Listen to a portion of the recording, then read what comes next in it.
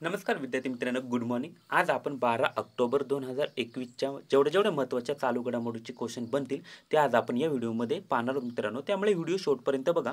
आणि तुम्ही चॅनलला जर सबस्क्राईब केले नसेल तर ते लाल कलरचे सबस्क्राईब बटन दाबून बेल आयकॉन ऑल करा जेणेकरून व्हिडिओ अपलोड झाल्यानंतर तुम्हाला त्याचं नोटिफिकेशन तुमच्या मोबाईलवरती मिळून जाईल. त्यामुळे चॅनलला सबस्क्राईब करून ठेवा. बघा पहिला क्वेश्चन पाहूया आजचा. खालीलपैकी कोणता हेनले पासपोर्ट इंडेक्समध्ये भारताचा क्रमांक आहे? हा क्वेश्चन काय विचारला की खालीलपैकी कोणता हेनले पासपोर्ट इंडेक्समध्ये भारताचा क्रमांक आहे किंवा भारताचा क्रमांक हेनले पासपोर्ट निर्देशांकामध्ये किती आहे? तर मित्रांनो या प्रश्नाचं योग्य उत्तर आहे. ऑप्शन क्रमांक ए नव्वदावा भारताचा क्रमांक आहे. या ठिकाणी तुम्ही पाहू शकता इमेजमध्ये बघा इंडियन रँक नव्वद Henley passport index first rank Japan Singapore. तर बघा मित्रांनो आपल्या या ठिकाणी महत्त्वाचा पॉईंट म्हणजे की भारताचा क्रमांक कितवा? तर हा नव्वदावा क्रमांक आहे. तर बघा आता पुढे दुसरी महत्त्वाचा पॉईंट म्हणजे या ठिकाणी पहिले चार देश कोणकोणते पासपोर्ट निर्देशांकात आहेत ते आपल्यासाठी महत्त्वाचे आहे तर पाहूया आपण बघा. तर बघा पहिला आहे जपानचा पासपोर्ट प्रथम क्रमांकावरती आहे. त्यानंतर बघा सिंगापूरचा हा पासपोर्ट द्वितीय क्रमांकावरती आहे. आणि तृतीय क्रमांक साऊथ कोरियाचा तृतीय क्रमांकावर पासपोर्ट शक्तिशाली आहे. आणि चौथा क्रमांक म्हणजे जर्मनीचा हा चौथ्या क्रमांकावरती हा पासपोर्ट सॉरी तिसऱ्या क्रमांकावरती आहे आणि इटलीचा हा चौथ्या क्रमांकावरती आहे. मित्रांनो तीन क्रमांकावरती साऊथ कोरिया आणि जर्मनी आहे. लक्षात ठेवा हे पहिले चार देश आहेत Japan Singapore South Korea Germany आणि इटली. हे पहिले चार देश आहे मित्रांनो. या ठिकाणी हा खूप महत्त्वाचा क्वेश्चन आहे. त्यानंतरचा बघा नेक्स्ट क्वेश्चन पाहूया. चिप्पी विमानतळ खालीलपैकी कोणत्या राज्यात आहे? क्वेश्चन काय विचारलाय की बघा चिंपी विमानतळ खालीलपैकी कोणत्या राज्यात आहे? तर या प्रश्नाचं योग्य उत्तर आहे. ऑप्शन क्रमांक बी महाराष्ट्र राज्यामध्ये चिप्पी विमानतळ आहे. तुम्ही लक्षात ठेवा. की अलीकडेच महाराष्ट्र राज्यामध्ये सिंधुदुर्ग जिल्ह्यामध्ये हे चिप्पी विमानतळाचे उद्घाटन करण्यात आलेले आहे माननीय मुख्यमंत्री उद्धव ठाकरे यांच्या हस्ते. त्यामुळे लक्ष ठेवा एक्झामला क्वेश्चन बनू शकतो. बघा त्यानंतरचा नेक्स्ट क्वेश्चन पाहूया. कोणत्या राज्यात ग्रीनफील्ड दर्जा मिळालेले सिंधुदुर्ग विमानतळाचे उद्घाटन झालेले आहेत? क्वेश्चन काय विचारलाय की कोणत्या राज्यात ग्रीनफील्ड हा दर्जा मिळालेले सिंधुदुर्ग विमानतळाचे उद्घाटन झालेले आहे. तर या प्रश्नाचं योग्य उत्तर आहे. ऑप्शन क्रमांक सी महाराष्ट्र राज्यामध्ये आहे. बघा त्यानंतरचा नेक्स्ट क्वेश्चन पाहूया. क्वेश्चन काय विचारलाय? कोणत्या व्यक्तीने economist Gandhi state and of the political economy the Mahatma हे शीर्षक असलेले पुस्तकाचे लेखक आहेत? क्वेश्चन काय विचारलाय बघा. कोणती व्यक्तीने economist Gandhi state of the political economy of the Mahatma हे शीर्षक असलेले पुस्तकाचे लेखक आहेत. तर मित्रांनो या प्रश्नाचे योग्य उत्तर आहे. ऑप्शन क्रमांक डी जय तीर्थराव यांनी हे पुस्तक लिहिलेले आहे. या पुस्तकाचे शीर्षकाचेही लेखक आहे. लक्ष ठेवा एक्झामच्या दृष्टीने खूप इम्पॉर्टंट पॉईंट आहे. त्यानंतरचा नेक्स्ट क्वेश्चन पाहूया. बघा नेक्स्ट क्वेश्चन औद्योगिक उद्यान विकासात खालीलपैकी कोणते राज्य प्रथम क्रमांकावर आहेत? क्वेश्चन काय विचारलाय बघा. औद्योगिक उद्यान विकासात खालीलपैकी कोणते राज्य प्रथम क्रमांकावर आहे?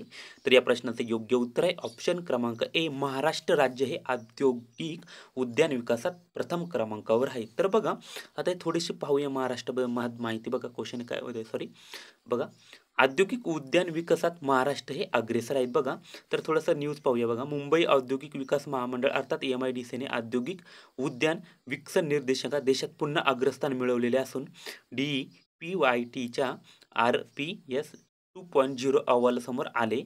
या industry park ranking system I P S अहवालाची दुसरी आवृत्ती वाणिज्य आणि उद्योग मंत्री सोमप्रकाश यांच्या हस्ते मंगळवारी पाच ऑक्टोबर प्रकाशित करण्यात आली. तर बघा मित्रांनो अशा प्रकारे हे औद्योगिक विज्ञान विकासात हे महाराष्ट्र अग्रेसर ठरलेलं आहे. लक्षात ठेवा. त्यानंतरचा बघा नेक्स्ट क्वेश्चन पाहूया. कोणत्या राज्याने भारतातील पहिले स्मार्टफोन आधारित ई होटिंग सोल्युशन विकसित केलेले आहेत तर क्वेश्चन काय विचारलं आपल्याला बघा? कोणत्या राज्याने भारतातील पहिले स्मार्टफोन आधारित ई वोटिंग वे सोल्युशन विकसित केलेले आहे? तर बघा या प्रश्नाचं योग्य उत्तर आहे. ऑप्शन क्रमांक बी तेलंगणा राज्याने हे पहिले स्मार्टफोन आधारित ई हॉटिंग सोल्युशन विकसित केलेले आहे. तर बघा आता या ठिकाणी तेलंगणाचा उल्लेख झालेला आहे. तर तेलंगणाबद्दल थोडीशी माहिती पाहूया. बघा राजधानी आहे हैदराबाद. तेलंगणाचे मुख्यमंत्री आहे के. चंद्रशेखर राव तर राज्यपाल आहे तामिलसाई सौंदराजन त्यानंतर बघा चेन तेलंगणा राज्यामध्ये काही महत्त्वाचे नॅशनल पार्क आहे. तर बघा मुग्रवानी महावीर आणि हरिणा हे नॅशनल पार्क आहे. इमेजमध्ये तुम्ही पाहू शकता या ठिकाणी तेलंगणा राज्य आहेत. हे जे लाल कलरमध्ये आहे ते तेलंगणा राज्य आहेत. बघा त्यानंतरचा नेक्स्ट क्वेश्चन पाहूया. खालीलपैकी कोणत्या राज्याने सर्व जिल्ह्यामध्ये अंमली पदार्थ विरोधी सेल स्थापन केले आहेत? बघा क्वेश्चन काय विचारला आहे की खालीलपैकी कोणत्या राज्याने सर्व जिल्ह्यामध्ये अंमली पदार्थ सेल विरोधी स्थापन केलेले आहे. तर मित्रांनो या प्रश्नाचं योग्य उत्तर आहे. ऑप्शन क्रमांक बी महाराष्ट्र राज्याने आम अंमली पदार्थ विरोधी सेल स्थापन केलेले आहे. लक्षात ठेवा. आता या ठिकाणी बघा महाराष्ट्राचा उल्लेख झाला तर आपण थोडीशी माहिती पाहूया महाराष्ट्राबद्दल. राजधानी बघा मुंबई आहे. मुख्यमंत्री आहे उद्धव ठाकरे. राज्यपाल आहे भगतसिंग कोश्यारी. बघा महत्त्वाचे नॅशनल पार्क आहे महाराष्ट्रामध्ये. चांदोली संजय गांधी ताडोबा. त्यानं बघा त्यानंतर बघा महत्त्वाची धरणे आहे. उजनी पवना जायकवाडी आणि कोयना ही महाराष्ट्र राज्यातील महत्त्वाची धरणे आहे तुम्ही मॅपमध्ये पाहू शकता या ठिकाणी महाराष्ट्र राज्य आहेत. बघा त्यानंतरचा पाहूया नेक्स्ट महत् महत्त्वाचा क्वेश्चन बघा. आंतरराष्ट्रीय बालिका दिन केव्हा साजरा करतात? बघा क्वेश्चन काय विचारलं की आंतरराष्ट्रीय बालिका दिन केव्हा साजरा करतात? तर या प्रश्नाचं मित्रांनो योग्य उत्तर आहे. ऑप्शन क्रमांक बी अकरा ऑक्टोबर रोजी आंतरराष्ट्रीय बालिका दिन साजरा केला जातो. मित्रांनो खूप महत्त्वाचं आहे. हा क्वेश्चन आहे. लक्षात ठेवा एक्झामच्या दृष्टीने डे डेवरती तुम्हाला एक्झामला कोणत्या पण एक्झामला क्वेश्चन एक ना एक विचारला जातो. तर बघा तर बाकीचे क्वेश्चन डिस्कस करायचे झाले झाले मित्रांनो. तर बघा बा बाकीचे क्वेश्चन आपण डिस्कस करूया. बघा बाकीचे क्वेश्चन जर डिस्कस करायचे झाले तर बघा एक ऑक्टोबर एक ऑक्टोबर मित्रांनो काय असतो? विक्री कर दिन असतो. त्यानंतर बघा आठ ऑक्टोबर आठ ऑक्टोबर आपला कोणता दिन असतो? भारतीय हवाई दिन असतो. आणि मित्रांनो त्यानंतर बघा नऊ ऑक्टोबर जर डिस्कस करायचे झाले तर नऊ ऑक्टोबर हा जागतिक टपाल दिवस असतो. लक्षात ठेवा हे बाकीचे चार म्हणजे चार डे असे आहेत. तर बघा आणि अकरा ऑक्टोबर हा बालिका दिन म्हणून साजरा केला जातो. त्यानंतर बघा नेक्स्ट न्यूज पाहूया महत्त्वाची बघ बघा मित्रांनो आता काय झाले जे नोबेल पुरस्काराचे वितरण ते सहाशे क्षेत्रामध्ये मित्रांनो दिलेलं आहे. त्यामध्ये शेवटचं क्षेत्र आहे अर्थशास्त्र आणि दोन हजार एकवीसचं अर्थशास्त्राचा नोबेल पुरस्कार जाहीर झाले. मित्रांनो ह्या तीन व्यक्तींना हे अर्थशास्त्राचे नोबेल पुरस्कार दिलेले आहेत. पाहूयात थोडीशी न्यूज याबद्दल बघा. बर्कल येथील कॅलिफोर्निया विद्यापीठाचे डेव्हिड कार्ड मित्रांनो हे आहे डेव्हिड कार्ड त्यांना अर्थशास्त्राचा नोबेल पुरस्कार जाहीर झालेला आहे. त्यानंतर बघा मेन मेन्च्युस्टेट्स इन्स्टिट्यूट ऑफ टेक्नॉलॉजीमधील जो शुआ एग्रिस्ट हे आहेत मित्रांनो जो शुआ एग्रिस्ट. त्यांना एक अर्थशास्त्राचा नोबेल पुरस्कार जाहीर झालेला आहे. आणि तिसरं बघा आणि स्टेनफोर्ड विद्यापीठातून गायडो इम्बेन्स हे आहे गायडो इम्बेन्स. यांना पण अर्थशास्त्राचा नोबेल पुरस्कार जाहीर झाला आहे मित्रांनो लक्षात ठेवा. बघा रॉयल स्विडिश अकॅडमी ऑफ सायन्सने सांगितले की तिघांना आर्थिक विज्ञानातील अनुभवजन्य कार्य ला पूर्णपणे आकार दिला या ठिकाणी काय झालं जे आर्थिक विज्ञानाचे जे महत्त्वाचे अनुभव आहे मित्रांनो त्यांनी जे काही संशोधन केले अर्थशास्त्रामध्ये या तिघां त्या या त्यांच्या कार्याबद्दल त्यांना अर्थशास्त्राचा नोबेल पुरस्कार दोन हजार एकवीस जाहीर केला आलेला आहे मित्रांनो. लक्षात ठेवा आपण या नोबेल पुरस्कारामध्ये एक सेपरेट लेक्चर बनवणार आहोत मित्रांनो साई क्षेत्रामध्ये. त्यामुळे जेणेकरून आपल्याला ते सविस्तर होईल. तर बघा या अशा प्रकारचं हे अर्थशास्त्रातील नोबेल पुरस्कार हे त्यांनी दिलेले आहेत. आता बघा नोबेल पुरस्काराचा या ठिकाणी उल्लेख झाला तर थोडक्यात आपण त्याचा एक इतिहास पाहूया बघा. बघा नोबेल पुरस्कार बघा. आल्फ्रेड नोबेल या स्वीडिश शास्त्रज्ञानाने अठराशे सदुसष्टमध्ये डायनामाईटचा स्फोटकाचा शोध लावला. बघा मित्रांनो क्वेश्चन तुम्हाला विचारला जातो की अल्फ्रेड नोबेल यांनी डायनामाईट स्फोटकाचा शोध केव्हा लागला? तर तो अठराशे सदुसष्ट रोजी त्यांनी डायनामाईट स्फोटकाचा शोध लावलेला आहे. बघा. पुढे बघा.